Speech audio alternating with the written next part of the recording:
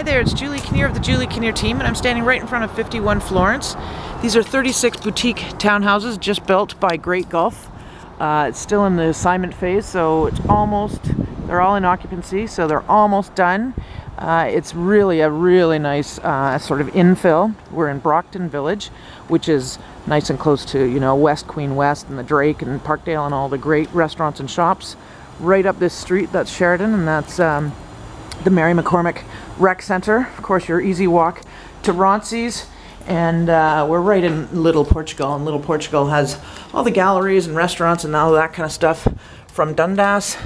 And uh, it's kind of a bonus to be, it's really a nice sort of family neighborhood. Lots of young families have moved in here. And, uh, and this is such a great opportunity. Great Gulf is a, an award-winning builder, and they use the H and ME, the home technology. It's really well built here.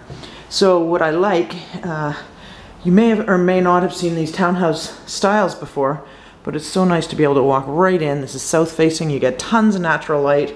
There's a, you know, right when you come in, there's a front hall closet. No stairs, sometimes you have to walk right upstairs as soon as you get here, but not in this case, it's bonus. You get a full powder room for, you know, if you're entertaining friends and family. And uh, look at this great open space. So two Juliet balconies, it's almost like you've got the outdoors in all the time. And uh, great ceiling height again. Nice gran granite counters, a huge, huge island here. You can see four chairs, you know, stools and all that kind of stuff. And of course, upgraded uh, stainless appliances and lots of room for TV and dining and entertaining and, and all that sort of good stuff. Uh, it's really great with this huge island. I love it.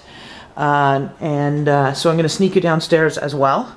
So this is two bedroom, two bath, uh, and and it's the you know the lower level really does not feel like a basement at all uh, because it's got so much natural light and the ceiling height is eight feet two inches or something like that.